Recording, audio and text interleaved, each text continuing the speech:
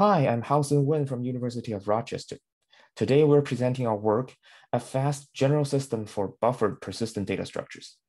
This paper is co-authored by me, Wentao Cai, Mingzhe Du, Louis Jenkins, Benjamin Valpey, and Michael Scott.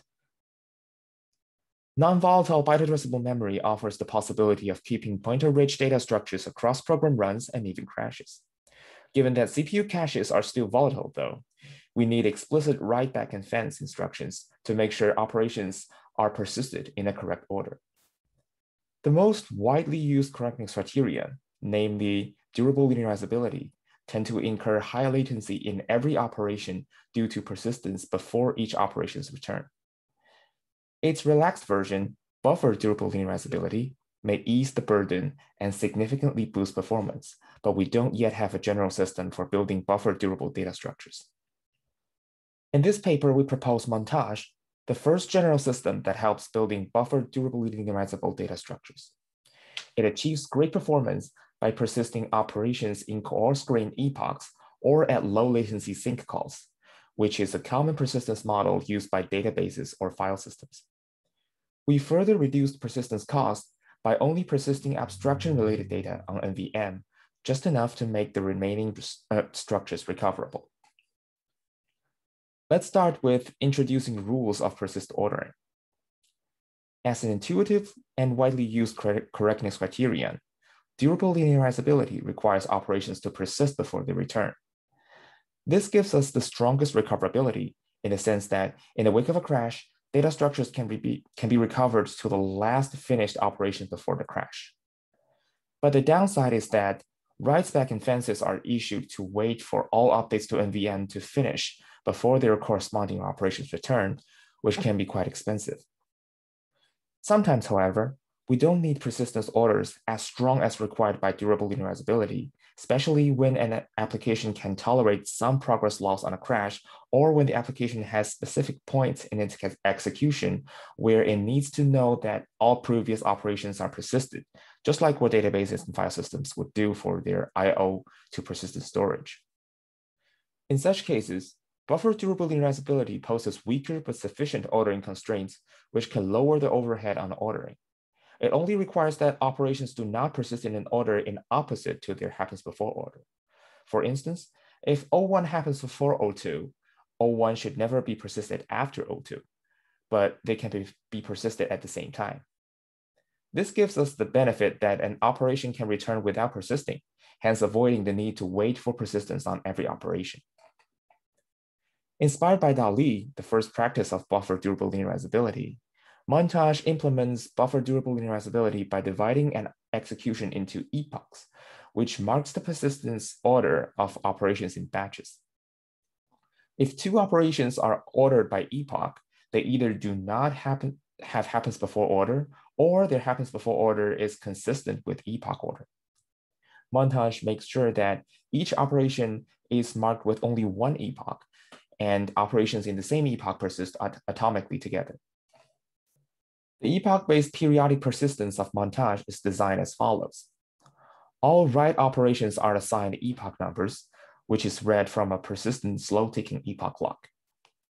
In one write operation, all the writes to persistent memory are marked with the same epoch number, so operations are linearized with epoch boundaries. This is important because the data structure is persisted in the granularity of epochs. If updates of an operation are marked with a different epoch, the operation is not guaranteed to be failure atomic. Also, although an operation may return after a new epoch starts, it needs to be seen as linearized in epoch of its persistent writes. Since read-only operations has nothing to persist, they don't need epoch numbers, but they're still linearized with some other operations and can always find an epoch to linearize in. Before the epoch boundary from e to e plus 1, all operations in epoch e minus 1 are waited to finish and persist. If a crash happens in epoch e, the history will be driven back to the end of epoch e minus 2. All operations in e minus 1 and e are discarded. Consequently, we cannot trivially overwrite persistent objects or payloads in our paper. If a payload was last updated in previous epochs, they cannot be in place updated in new epoch because the history of those blocks in old epochs need to be pres preserved in case the new epoch is discarded. Instead, we make copies of those blocks and update new copies. During this process, the data structure needs to make sure that the linearization order of operations is consistent with their epoch number. Specifically, if an operation sees some block from a later epoch, there might be an ordering issue. For example, as W1 and W6 overlap in time, it might be possible for W1 to linearize after W6, which is inconsistent with their epoch number. In such cases, Montage can optionally raise an exception as a reminder. Note that this issue is not necessarily faulty depend, depending on the data structures. For example, helping and cleanup operations among non-blocking data structures may update or reclaim some payloads. Out of order persistence of those operations may not be an issue since they do not affect the abstract state of the data structures. Montage further reduces persistence overhead by reducing the amount of persistent data. Prior works like non-blocking persistent memory allocator Ralloc, persistent data structure implementations like NV-Tree, FP-Tree, and Pronto showed that after crashes, data structures can be rebuilt from a set of data representing its abstraction. For example, the abstract data of sets and mappings can be their keys and values. For queues, it can be their values and queue node orders. For graphs, it can be vertices and edges together with their relationships. Montage allows data structures to only persist those data and helps iterate through those abstract data during recovery so the transient indexing can be rebuilt. For a mapping, for example, this can be a linked list, a hash map, or a tree. In many target applications like in-memory databases, abstract data can take the majority of the data structure's memory usage, which makes this strategy a preferable way to use NVM since it tends to be much larger than DRAM. Please note that abstract data is just the minimum set of information to be put into persistent payloads. Montage users can always persist more data for faster recovery after crashes. This is an example of Montage persistent mapping implemented as a tree. The dark blue blocks represent persistent payloads containing abstraction-related information. With only those blocks after crashes, the upper transient in indexing structure can be rebuilt. Montage prototype is built on Ralloc for fast NVM allocations. Each language level object of persistent payloads are stored in blocks allocated by Ralloc with at least one copy. Montage provides a set of C++ API to track the reads and writes of persistent payloads. Montage may choose to apply the writes in place if a payload is last updated in the, in the current epoch, or allocate a new copy for the payload's first update in the current epoch to preserve history. Either way, writes are registered with the epoch in which they are performed. Montage also tracks the boundaries of each operation in order to assign the same epoch number to all writes in the same operation. Recall that cache lines of each registered write in epoch E must finish write back to NVM by the end of E plus one. But the invocation of writes back can be as early as immediately after the write. The problem with that is on current Intel machines that supports Optane DRAM, CLWB instruction actually invalidates the cache line which messes up the cache locality and de degrades performance of data structures. On the other extreme, buffering writes back of whole epochs brings too much overhead and stretches epochs exponentially.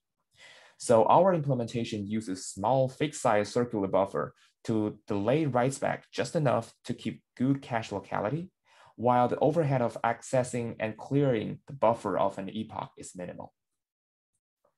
Besides that, Payload reclamations need to be buffered for at least two epochs since they cannot be undone after a crash, and we need unbounded containers for this.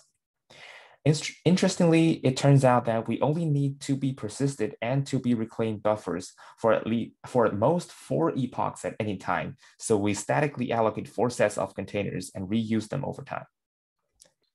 Global epoch in montage simultaneously advances every 10 milliseconds for close to optimal performance on most microbenchmarks.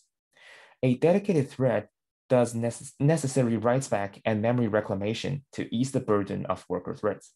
But sometimes application may want to wait until all previous operations are persisted before its next instruction. Montage provides sync function that does this by advancing epoch twice from current epoch before return. To make sync faster, sync callers on different threads help each other with cache line writes back. The helping is coordinated with a tree-based Mindicator variant with the buffer of every thread as leaves to avoid repeated writes back. With this optimization, we observed superior performance of montage even with sync called after every operation, which essentially achieved strict durable linearizability.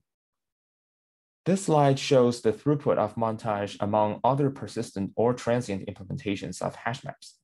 Note that y-axis is log scaled. Montage has significantly better performance than all other persistent hash map implementations except SOFT, which has a significant drawback that it keeps a copy of all data on DRAM, so that the size of the hash map is bounded by DRAM capacity. For more information about experiment setups and results, please refer to the paper. To wrap up, Montage reduces the persistence overhead of recoverable data structures by reducing the cost of persistent ordering and reducing the amount of persistent data. It is suitable for both lock-based and non-blocking data structures, while the latter involves some non-trivial effort. Please see the paper for details. In experiments, it shows unprecedented performance as a general system for building persistent recoverable data structures.